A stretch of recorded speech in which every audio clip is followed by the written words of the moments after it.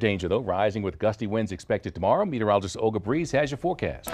That's right. We are breezy today and we'll be downright windy as we head into tomorrow's forecast. Right now, we are tracking some severe weather in the northern and eastern portions of the state. Right now, the severe thunderstorm warnings are affecting portions of Colfax County. Overall, we have three of them to tell you about. The first one is basically in toward that Maxwell area, and we've seen the opportunity uh, for some large hail there reported uh, near the, uh, I should say, Maxwell uh, area at 1 0.25 inch hail. That second storm, the one in the center, uh, that watch will be going on until about 4.30. That one is weakening somewhat, but still very gusty winds, some lightning, and the potential for hail there as well, just east of the Springer area. And then we're also watching that third thunderstorm warning. Uh, that third cell cell still pretty strong, again tracking toward the east at about 22 miles per hour. In all, these storms just popped up over the next 30 minutes or so uh, from a very clear radar to very large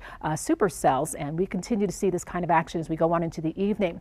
The Storm Prediction Center does have that portion of the state under a slight or marginal risk for seeing some severe weather. We're mainly concerned about the possibility of that large hail damaging wind. The tornado threat at this time is very low. We also have heat to talk about. Heat advisory covers the southern portions of our state. That until 8 o'clock. We have those solid triple digits. It is warm all over this evening, and we're also headed for a fairly mild night tonight. So right now we're tracking mainly sunshine over at the Sunport. We have a few passing clouds, but temperatures in the 90s, but those winds gusting at or near 21 miles per hour. We'll see some gusts when we go into our Friday forecast for sure, and that's going to elevate our fire danger tomorrow. Wind gusts should subside a little bit. We'll see a bit breezy on Saturday. Saturday, but nowhere as windy as on Friday. Let's get you to that uh, uh, alert for tomorrow. We will see the opportunity for some red flag warnings popping through as we move on into our Friday forecast. Saturday will still be hot. We'll push into those upper 90s by Sunday,